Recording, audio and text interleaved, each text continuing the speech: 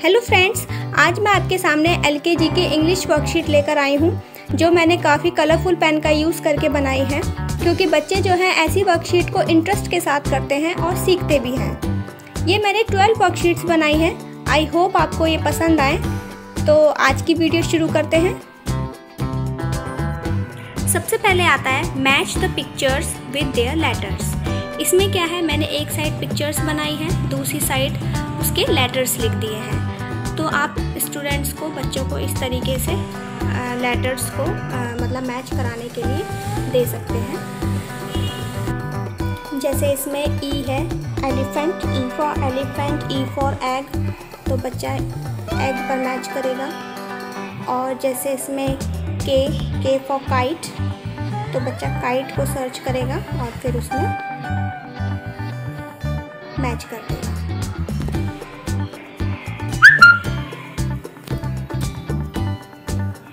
उसके बाद आता है match the capital letters with small letters जैसे एक साइड कैपिटल लेटर्स हैं, दूसरी साइड स्मॉल लेटर्स हैं तो कैपिटल लेटर्स को आइडेंटिफाई करेगा और स्मॉल लेटर्स पे उसको मैच कर देगा। जैसे ए फॉर ए ये यहाँ पर ए है स्मॉल ए बना हुआ है। ऐसे ही सी सी हमारा स्मॉल लेटर ये रहा। इस तरीके से भी आप करा सकते हैं एक्टिविटी उसके बाद आता है write the capital letter and small letters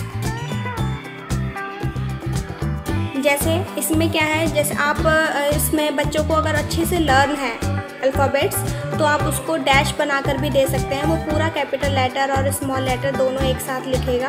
otherwise अगर बच्चे को थोड़ा सा मतलब भूल गया है, जैसे बच्चे स्टार्टिंग में जल्दी से याद नहीं रख पाते हैं तो आप उनको ट्रेसिंग के लिए भी दे सकते हैं। जैसे यहाँ पे मैंने ट्रेस के लिए बनाया हुआ है तो यहाँ पे बच्चा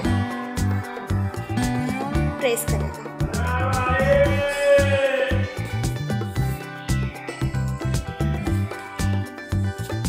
उसके बाद आता है what comes after and what comes before तो सबसे पहले what comes after for example जैसे यहाँ पे एल बनाया है एल तो एल के बाद क्या आता है? यहाँ पे आप उसको बताइए कि किस तरीके से हमें लिखना है। एल के बाद एम आता है और उसके बाद ऐसे ही वॉट कम्स बिफोर में बी से पहले क्या आता है। तो वो आप बच्चों को दीजिए तो आपका बच्चा जो है वो आराम से उस चीज़ को कर पाएगा।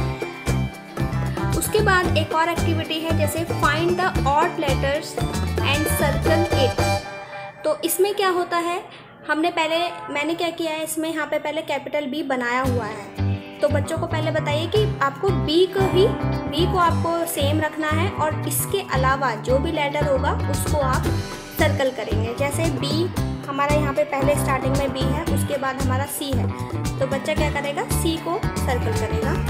तो ऐसे ही इस लाइन में सर्च करते करते जहाँ पर उसको और वन दिखाई देगा, उसको वो सर्कल कर देगा। सेम ऐसे ही यहाँ पर जैसे ये के है तो के यहाँ पे के लिखा है, ये स्मॉल के लिखा है, ये आर लिखा है। तो जैसे स्मॉल के है और ये कैपिटल आर है तो इन दोनों में भी बच्चा बहुत ज़्यादा कंफ्यूज होता है तो वो आप इस तरह की एक्टिविटी देंगे तो उसकी जो कन्फ्यूज़न है वो थोड़ी ख़त्म हो सकती है। जैसे यहाँ पर कैपिटल आर ऑड वन हो गया, ये स्मॉल आर ऑड वन हो गया, फिर यहाँ पे कैपिटल आर ऑड वन है। और बाकी के यहाँ पे कैपिटल के कैपिटल के स्मॉल के तो ये एक्टिविटी से भी बच्चा जो है लेटर्स को आइडेंटिफाई करता है कि कौन सा लेटर क्या है। उसकी जो प्रोनाउंसिएशन है वो क्या है। के को वो आर ना बोले आर को वो के ना बोले, इस तरीके से। नेक्स्ट एक्टिविटी है सर्कल द करेक्ट वर्ड इसमें क्या है? सर्कल द करेक्ट वर्ड में जैसे कई बार आपने देखा भी होगा, बच्चा क्या करता है स्मॉल जैसे कैपिटल लेटर्स जब लिखना स्टार्ट करता है तो कई बार वो उल्टे लेटर्स भी लिख देता है। तो उस कंडीशन में हम क्या करेंगे, उसको दो लेटर्स इस तरीके से बना कर देंगे। तो उसमें हमने पहले ही बता दिया कि ये करेक्ट वर्ड है। तो करेक्ट वर्ड कौन सा है, वो उसको आइडेंटिफाई करेगा और उसको सर्कल करेगा। जैसे यहाँ पे ये सी सी को सर्कल करेगा। सेम ऐसे ही यहाँ पर। जैसे ज़्यादातर पी को बच्चे उल्टा बना देते हैं तो वो करेक्ट वर्ड को करेक्ट लेटर को सर्कल करेगा।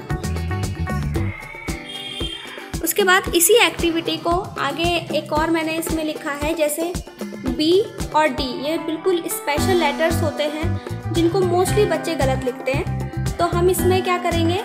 कि यहाँ पे मैंने क्या करा है? बी डी बी डी ये सारे मैंने एक लाइन में लिख दिए हैं। तो बच्चे को पहले बताएँगे कि यहाँ पे सिर्फ़ हमें बी पर ही सर्कल करना है। तो बी पर वो सर्कल करेगा ढूंढ ढूंढ कर, क्योंकि बी को ज़्यादातर उल्टा डी बनाते हैं बच्चे और डी को उल्टा बी बनाते हैं। तो इसलिए हमें, हम क्या करेंगे इसमें सिर्फ़ पहले बी बी पर ही सर्कल करवाएँगे।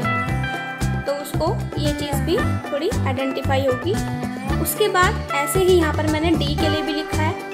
यहाँ पर नेक्स्ट उसमें आप चाहे एक दिन में दीजिए या नेक्स्ट डे आप उसको पहले एक दिन बी का कराइए, उसके बाद डी का कराइए, आप ऐसे भी कर सकते हैं। तो हम यहाँ पर फिर उसको डी का जब देंगे तो वो बच्चा सिर्फ़ डी पर सर्कल करेगा। तो ये एक्टिविटी बहुत ज़्यादा इंपॉर्टेंट होती है अगर बच्चे को बी और डी में डिफरेंस सिखाना है। तो ये एक्टिविटी बहुत यूज़फुल होती है। नेक्स्ट आता है इसमें राइट द मिसिंग लेटर्स तो ये भी स्टूडेंट्स काफ़ी अच्छे से करते हैं बच्चे। आ, जैसे क्यू आर क्यू के बाद क्या आएगा यहाँ पे? आर उसके बाद एस के एल एम तो इस तरीके से भी हम बच्चों को ये एक्टिविटी करा सकते हैं। नेक्स्ट आता है इसमें सर्कल द वॉवल्स बच्चे शुरू शुरू में वॉवल्स में भी बहुत ज़्यादा कंफ्यूज होते हैं। तो हम क्या करेंगे यहाँ पर? पहले आप ए ई आई ओ यू में से कोई से भी छांट कर यहाँ पर लिख दीजिए। तो जैसे मैंने यहाँ पे ओ का एग्ज़ाम्पल लिया है पहले तो बच्चा क्या करेगा? सिर्फ़ ओ पे ही सर्कल लगाएगा। Circle the vowel O only then ऐसे ही आई का मैंने बनाया है तो सिर्फ़ वो आई पर ही सर्कल करेगा। तो इस तरीके से वॉवल को वो आइडेंटिफाई करता है कि कौन से हमारे वॉवल्स होते हैं, मैंने यहाँ पे ओ और आई का यूज़ किया है, आप पाँचों वॉवल्स को भी यूज़ कर सकते हैं। नेक्स्ट एक्टिविटी जो है, वो इसी से रिलेटेड है circle the A E I O U vowels इसमें मैंने पाँचों वॉवल्स को यूज़ किया है। जैसे यहाँ पर वो क्या करेगा कि ए ई आई ओ यू जितने भी वॉवल्स हैं, उन सब पे सर्कल करेगा। जैसे यहाँ पर ए ई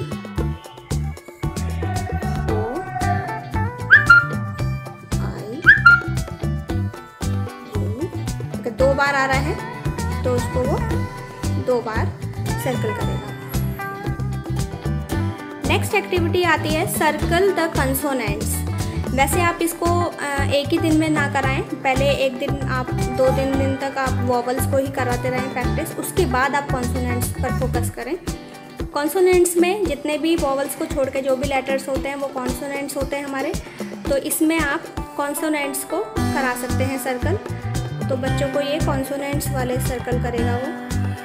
और वो आसानी से फिर आइडेंटिफाई भी कर पाएगा कि कौन से हमारे वॉवल्स होते हैं और कौन से हमारे कॉन्सोनेंट्स होते हैं। तो ये एक्टिविटी जो होती है वॉवल्स की और कंसोनेंट्स की, ये बच्चे को बहुत आसानी से समझ में भी आती है और बच्चे को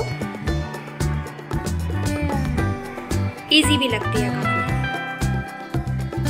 उसके बाद आता है write the vowels and consonants in two trees यहाँ पे मैंने क्या किया है? एक बिग ट्री बनाया है पहले, जिसमें मैंने मिक्स वॉवल्स और कॉन्सोनेंट्स दोनों लिख दिए हैं। उसके बाद मैंने नीचे यहाँ पे वॉवल्स के लिए एक स्मॉल ट्री बनाया है और एक मैंने कॉन्सोनेंट के लिए स्मॉल ट्री बनाया है। तो इससे क्या होगा कि बच्चा इसमें पहले वॉवल सर्च करेगा।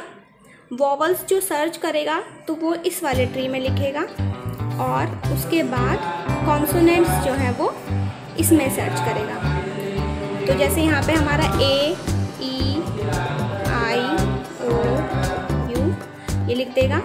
और उसके बाद यहाँ पे जैसे उसमें लिखे हुए consonant L M B P इस तरीके से भी आप एक्टिविटी करा सकते हैं, जिससे कि बच्चे को और भी अच्छे से वॉवल्स और कॉन्सोनेंट्स में डिफरेंस भी पता चले और वो अच्छे से सीख भी पाए। इसमें मैंने पॉलीथीन का यूज़ किया है। मैंने क्या किया है? शीट को वर्कशीट को मैंने पॉलीथीन में रख लिया है, जिससे कि हम इस वर्कशीट को दोबारा से भी यूज़ कर सकते हैं। जैसे बार बार आपको पिक्चर्स ना बनानी पड़े तो हम ऐसे भी इसको कर सकते हैं और पूरे साल इसकी प्रैक्टिस करा सकते हैं।